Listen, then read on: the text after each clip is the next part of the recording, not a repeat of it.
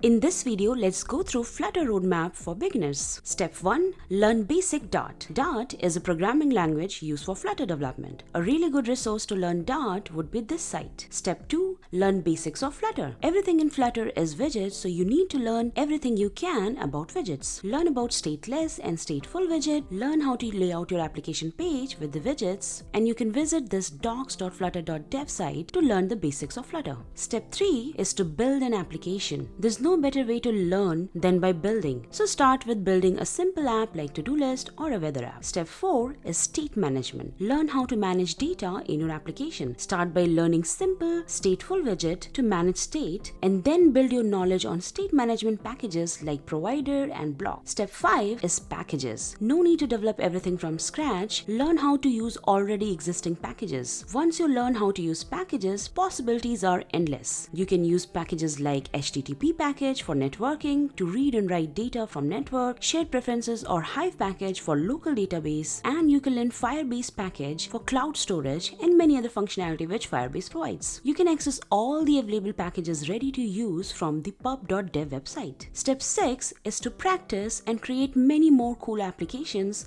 and deploy them to Play Store or App Store to become an expert Flutter developer. Happy learning!